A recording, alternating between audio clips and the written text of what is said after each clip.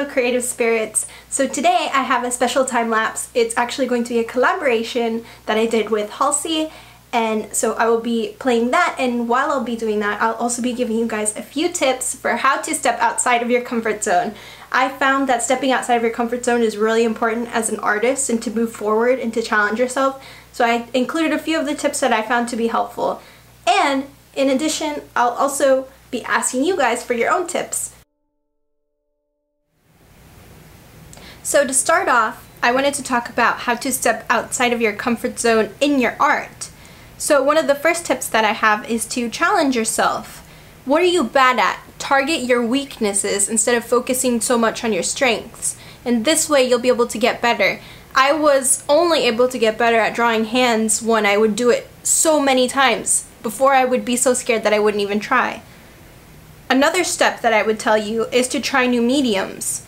Experiment with oil if you're used to acrylic and experiment with acrylic if you're used to painting with oils. Also try graphite ink colored pencils to see what you like. You never know what might bring your art to a whole new level.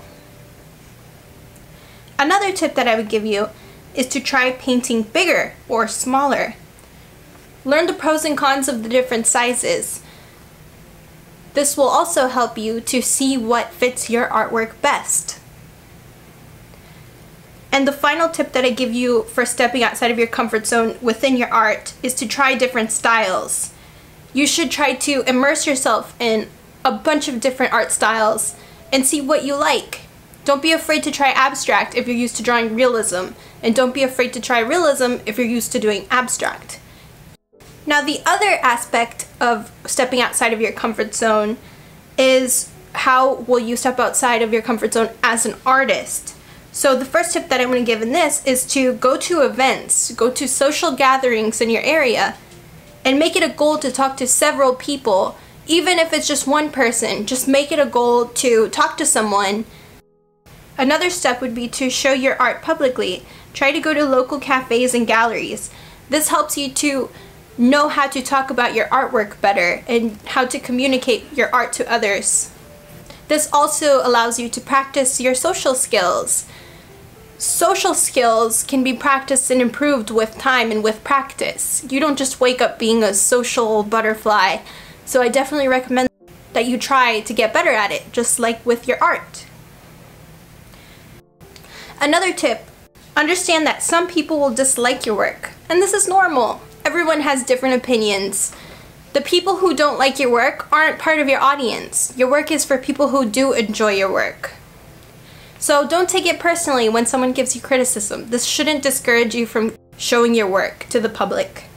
And the final tip that I want to give you is that it's okay to be nervous.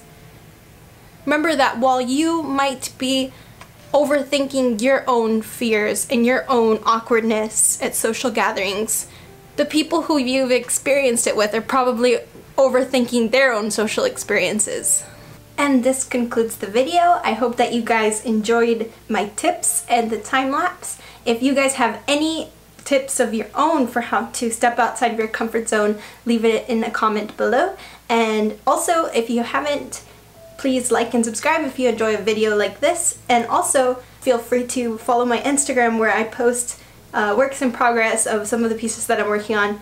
And I will see you guys next week.